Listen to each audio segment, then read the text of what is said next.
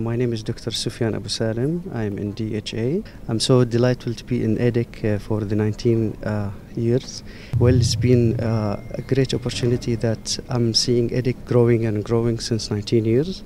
The delegation and the numbers of uh, companies and the people in Dubai in the AEEDC are increasing by by year, and uh, it's a great opportunity to see the new innovations and the lectures. I've been here with the scientific committee since 1997 and uh, what I'm seeing is a, it's, a, it's a great uh, leap to the future in dentistry.